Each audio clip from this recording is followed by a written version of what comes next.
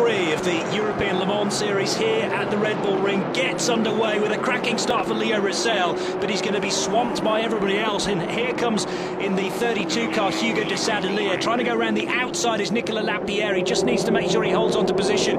Hugo de Sadeleer there trying to squeeze up the inside and further back in the pack. This is where the interest is going to be because it's so difficult to get 36 cars through turn number one. It looks like they just about managed it. Lots of wayward lines, but Léo Roussel has got the jump on his teammate and just about fended off Hugo de Sadeleer.